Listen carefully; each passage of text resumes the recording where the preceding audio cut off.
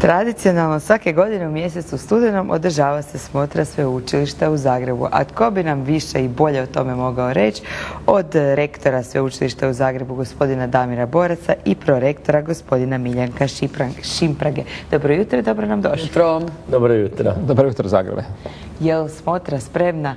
Pa je. Dakle, mi smo svake godine unaprijeđujemo smotru, ali moram reći da je to zapravo svake godine sve više događaj gradski i hrvatski, jer recimo traje od, od, danas, ali e, do nedelje, do subote zapravo i onda dolazi jako puno autobusa mladih e, maturanata, dođe 300-400 autobusa i to je zapravo fantastično, to je 10-15 tisuća ljudi i to je došlo, dakle zadnjih godina je postao ne samo naš sveučilišni, nego i gradski, ali i hrvatski e, događaj jer mi na našoj smotri ne samo da govorimo o studijima na sveučilištu u Zagrebu, nego smo poslali i sva sveučilišta, imamo e, sva javna sveučilišta, ali jako puno privatnih. Jer se shvatilo da je to smotra koja želi svim mladima dati pravu informaciju. To znači da ta prava informacija dopre do svih. Dakle, mi možda ne nudimo sve stručne studije koji su isto tako jako dobri i za koje mnogi mladi žele ići, prema tome mi im dajemo punu informaciju. Sve učilište u Zagrebu se popunjava svake godine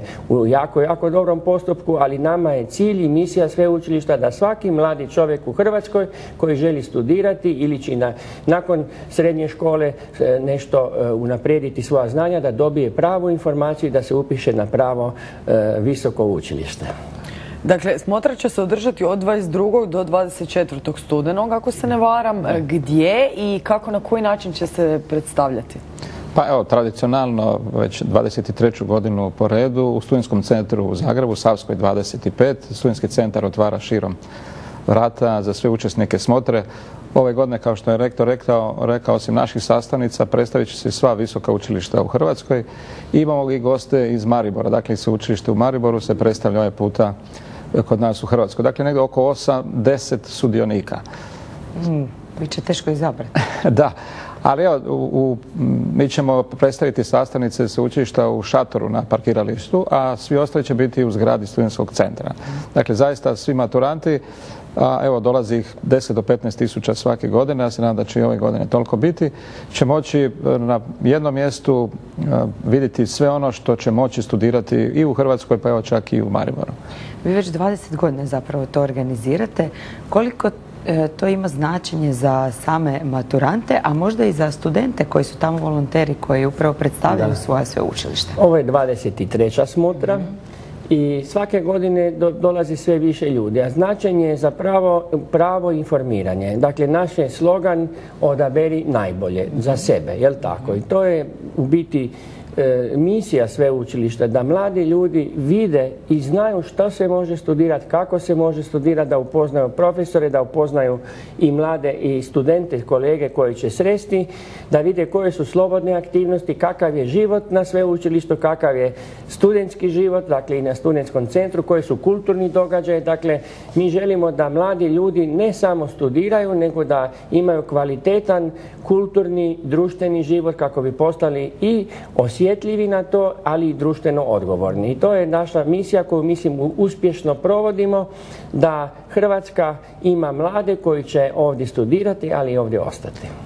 Zanimljivo je ono što je zapravo pored par mentora na štandovima gdje se predstavljaju fakulteti uglavnom e, su studenti. Tako da u izravnoj komunikaciji maturanata i studenata je informacija još bolja. Dakle, vjerovat će prije njima, njima blizima, odnosno sebi bližima nego možda starijima.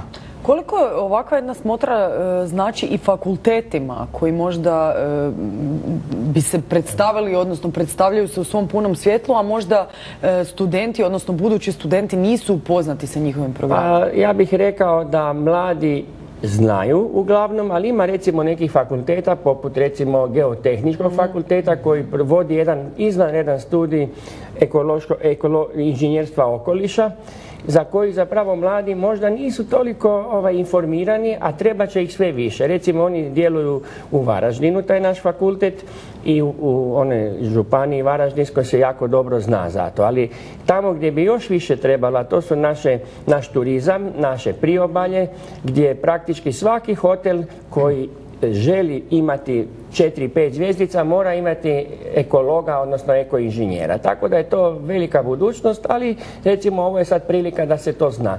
Još bih dodao da mi imamo jednu veliku, veliku grupu tehničkih fakulteta koji ove godine unutar 350 godišnjice sveučilišta slave svoju 100 godišnjicu. Dakle, točno 2019. godine slavit ćemo za sve tehničke fakultete 100 godine jer su svi proizašli iz one tehničke škole koja je nastala 1919. godine. Vi ste na to posebno ponosni na Pa taj naravno, dio. ja sam isto inženjer elektrotehnika, ali bio sam dekan filozofskog. Dakle, može se sa dobrom tehnikom biti sve. Jel tako? Posebno važno je za predstavljanje fakulteta kad predstavljaju nove studijske programe. Nismo kao sveučilište živi organizam i vrlo često se pokreću novi studijski programi, oni za koje studenti izgube interes, eventualno se pomalo gase, tako da je smotra upravo prilika predstaviti nove studijske programe, tako čini mi se bit će vrlo zanimljivo vidjeti i ove godine, posebno sa novim programom, recimo muzičke akademije, smjer tamburica, to je dosta zanimljivo i one će nam uljepšati i samo otvaranje smotre. Sjajno. Što bi izdvojili ove godine? E, što je nekako možda najinteresantnije, za što vlada najveći interes? Pa e, posebno možda do ovog trenutka, evo, ono što je u zadnje vrijeme, evo i sam rektor dosta e, razgovara i da to su možda naši hrvatski, ono, pardon, e, vojni studiji koji su nekakva novina i e, programi koje otvaramo za Hrvate izvan Hrvatske. Evo, u tome izravno sudjelovao i rektor, pa će o tome vjerojatno moći više nešto reći, to je dosta zanimljivo.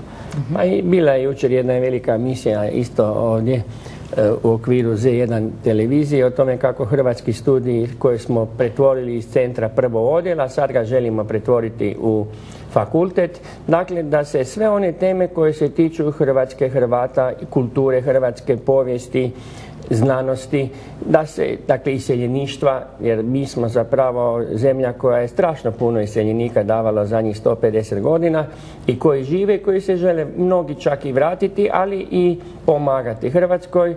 Tako da e, su hrvatski studiji jedan uspješan projekt. Ali ipak, osim tih humanističkih i društvenih znanosti, koje su, moram reći, dosta u politici recimo e, zanemarivane, mi imamo i tehničke, biotehničke, biomedicinske, prirodoslovno-matematičke, ali ono što je isto posebno naglasiti, vrlo snažne umjetničke e, tri akademije koje su stvarno svjetska klasa i mi e, smo ponosni na njih jer bez tehnike nema budućnosti, ali isto tako bez osmišljene tehnike, dakle humanistički i kulturno osmišljene e, razvoja prirodnih društv i, i tehničkih znanosti nema zapravo pravog društva, što se konačno vidi ako pogledamo zadnje dvije, tri godine Europu, gdje su loše predvidjeli ove imigrantske valove, nisu ih dobro osmislili, nisu, iako su primali uglavnom ljude tehničkih struka koji nedostaju u Europi, nisu dobro to osmislili i sad vidimo posljedice. To je i problem Brexita i problem Angele Merkel, da ne spominjemo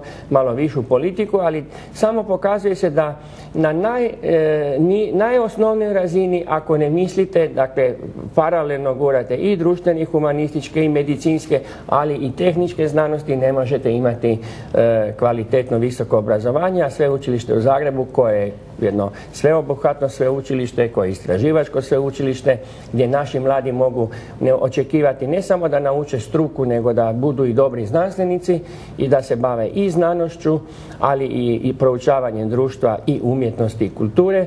Dakle, sve zajedno e, da budu kompletni ljudi. Nije čudno da mnogi naši inženjeri su vrhunski i, i muzičari i, i zabavljači i tako dalje, pa čak i u medijima poznati, tako da velim nema ograničenja, nego uvijek trebate biti kompletna ličnost, a to naša visoko obrazovanje, a pogotovo sveučilište u Zagrebu i daje. Upravo sam htjela pitati, s obzirom da je e, e, sveučilište jedno od najstarijih u Europi, kakve smo u usporedbi sa europskim sveučilištima? Pa evo, ja ću to, to je moja dužnost zapravo. Može. Dakle, na rang listama, tamo gdje se mjeri edukacija, kvaliteta edukacije, dakle obrazovanja, je, mi smo 300 e, u svijetu, jel, na šangajskoj listi. Na znanstvenom dijelu smo 540. Dakle, svi naši znanstveni radovi su kvalitetni, ali ih, nažalost, zbog lošeg financiranja ne možemo dovoljno stvoriti. Međutim, ako se gleda financiranje, onda smo nažalost negdje iza 3000 mjesta. Dakle, mi smo jako, jako uspješni kad se pogleda koliko stvarno dobivamo novca. Naime, moram to opet ponoviti, u Hrvatskoj se izdvaja za visoko obrazovanje i znanost samo 0,8% bruto društvenog proizvoda. Projekcije govore da će se smanjiti na 0,6%, a Europa uglavnom daje 1,4%. To otprilike znači ovo, u Hrvatskoj se po stanovniku daje 80 eura, za visoko obrazovanje, a u Njemačkoj koja je usputi pet puta, 50, ne, 20 puta veća, otprilike 400 eura po stanovniku. Dakle, dakle, pet puta više. To je zato jasno da mi uz, uz takvo loše financiranje zapravo postižemo izvanredne rezultate. Mislim, inače, ta rangiranje došlo iz Amerike gdje su oni za svoje potrebe e, i komercijalizacije visokog obrazovanja zapravo uveli rangiranje kako bi se međusobno nadmetali. Nama u Europi to više manje nije toliko potrebno, a mi na tim e, rang listama iz još jednog razloga koji e, samo gledaju znanstveno istraživački rad, prolazimo malo lošije jer smo sveobuhvatno sveučilište, dakle mi imamo i umjetnička akademija, društveno-humanistički dio koji zapravo po ovim kriterijima se uopće ne broji. Dakle, kad nas gledate u tom smislu, onda uspoređujemo kao kruške, jabuke i šljive ili recimo šljivu sa cijelom košaricom voća, a mi smo puna košarica voća. Ali usprko svemu i opet smo dobri. Da.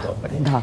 E, usprko svemu, sveučilište u Zagrebu obilježava 350 godina od svog utemeljenja. Ako se ne varam, bilo je... Dakle, mi smo započeli 350. akademsku godinu, a jer je tada počinjena godina u rujnu, pa je onda se to broji unatrag cijela godina ova akademska, a stvarna godišnjica kad je car Leopold nama e, dao dekret, to je bilo 1669. E, Tako da ćemo 3. studenoga sljedeće godine, ali u 351. akademskoj godini slaviti točno 350 godišnjicu sveučilišta. Mi smo sad bili e, htjeli da obilježimo to kako bi pripremili dakle niz događaja koje ćemo u sljedećih godinu dana, 15 mjeseci e, e, organizirati. Naravno ne sami, nego i uz pomoć, to moram posebno naglasiti, sveučilišnog grada Zagreba, pa smo već počeli recimo s tim nekim medijskim, medijskom promičbom. Evo imamo jedan krasan zagrebački tramvaj sa prekrasnim logo ima sveučilišta, ali ne samo sveučilišta, nego piše gore i sveučilišni grad Zagreb. Naime, jako je važno da gradovi, a to ovaj naš grad prepoznaje, e, e, shvaćaju da biti sveučilišni grad je velika, velika prednost. Dakle, e, Zagreb je prvi od svih sveučilišnih gradova, ali isto tako mi kao sveučilište, ali i Zagreb pomažemo i ova ostala sveučilišta i mi smo jako na to ponosni. Dakle, naša je misija da cijelo visoko školstvo bude e, u duhu te 350 godišnje tradicije, jer ta tradicija znači i kvalitetu. Ako smo opstali 350 godina, znači da nešto i vrijedimo.